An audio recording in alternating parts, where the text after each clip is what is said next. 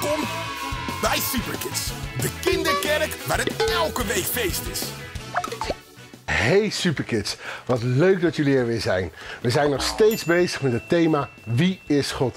Hey Quispel, Hey, nou, moet je eens horen. wat is er?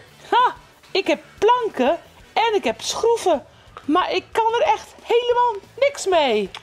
Hoe bedoel je? Nou, ik kan die schroeven er toch niet zomaar indraaien? Eh, nee. En ik merk dat je er ook een beetje zagrijnig van wordt. Een beetje, ja, ik wil gewoon verder, maar het lukt gewoon niet. Zit er nog iets in de gereedschapskist? Dat is een goeie. Zal ik eens even kijken? Mhm, ja, graag.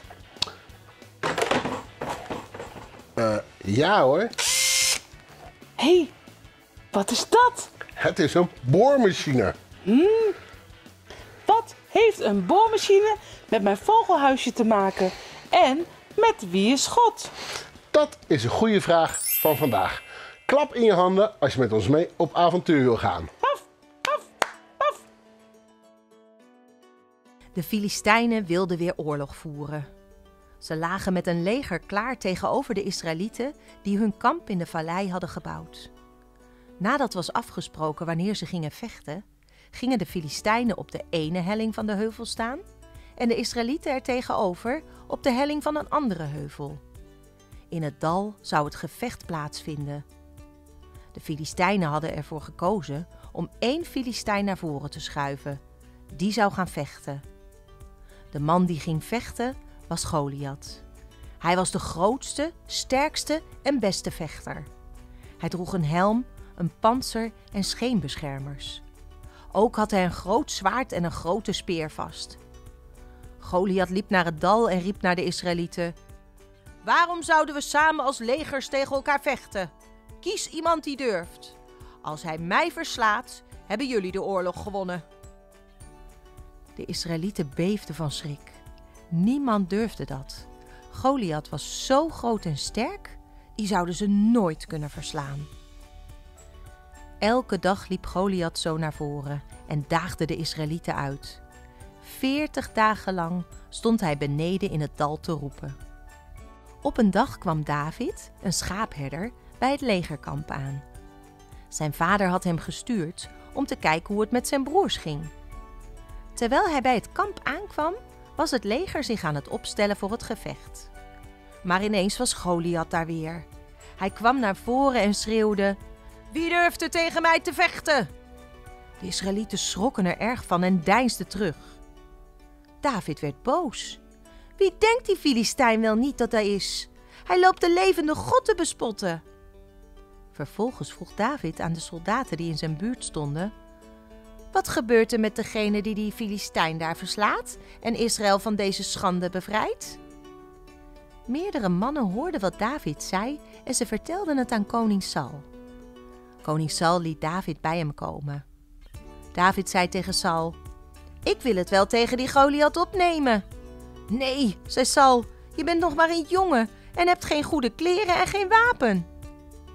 Maar David vertelde dat hij de kudde ook altijd beschermde tegen leeuwen, beren en andere gevaarlijke dieren. Ik heb de schapen uit hun bek gered en als de leeuw of beer me aanviel, dan versloeg ik hem. Zo zal ik dat ook doen bij die Filistijn. De Heer zal mij helpen. Uiteindelijk vond Saul het goed. Hij gaf David zijn helm, schild en harnas en ook zijn zwaard. David trok het aan en liep een stukje, maar toen viel hij om. Ik kan hier niet mee lopen, zei David tegen Saul en hij trok alles weer uit. Hij pakte zijn stok, zocht vijf gladde stenen aan de rand van de rivier en stopte die in zijn herderstas. Toen liep hij op Goliath af met zijn slinger in de hand. Goliath liep met grote stappen naar David toe en riep: Ben ik soms een hond dat je met een stok naar mij toe loopt? Hij lachte hem uit en maakte God belachelijk. Kom maar op, zei David. Ik daag je uit in de naam van de Heer van hemel en aarde, de God van Israël, die jij voor gek verklaart. Maar vandaag ga ik jou verslaan, want de Heer bepaalt wie er wint of verliest. Hij helpt wie hulp nodig heeft en op hem vertrouwt. Toen Goliath David wilde aanvallen, rende David naar Goliath toe, pakte onderweg een steen uit zijn herderstas en slingerde die met zijn slinger tegen Goliath aan. De steen kwam precies tegen het voorhoofd van Goliath en Goliath viel voorover op de grond. Toen de Filistijnen zagen dat hun held verslagen was, sloegen ze op de vlucht. Zo won David van Goliath.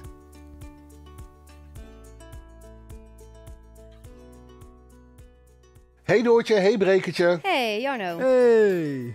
Hoe gaat het? Wat zijn jullie aan het doen? We zijn een puzzel aan het maken, maar het lukt nog niet zo goed. Oh, ik zie het ja. Ja, dat is best lastig.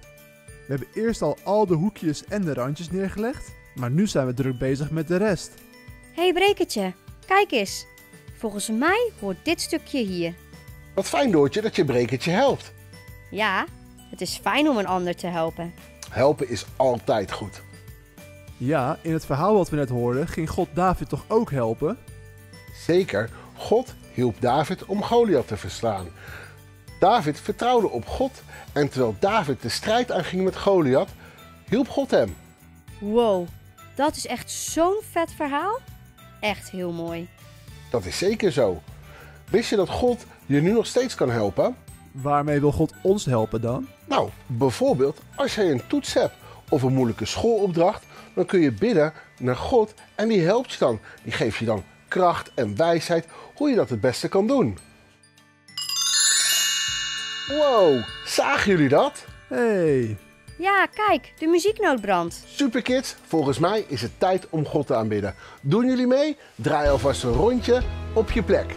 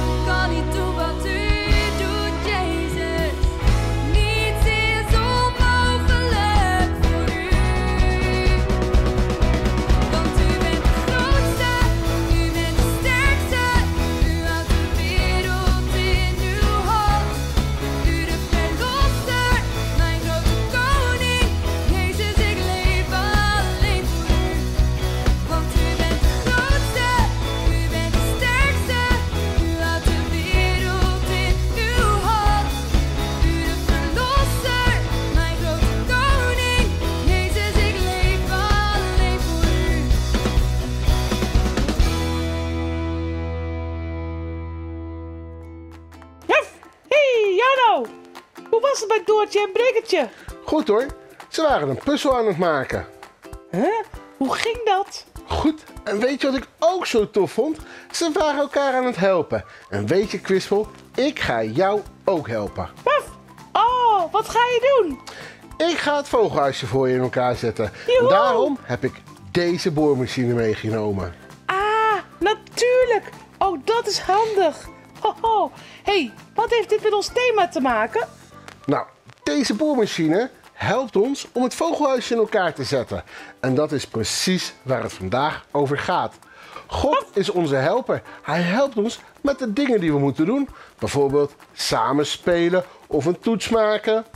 Waf. Oh, zo cool. God is dus niet alleen onze vriend, maar nog zoveel meer. Volgende week gaan we weer naar de allerlaatste aflevering van het thema Wie is God? Ik ga snel verder met het vogelhuisje voor Quizpool, want anders krijg ik het nooit af. Ik zie jullie volgende week weer. Doei doei!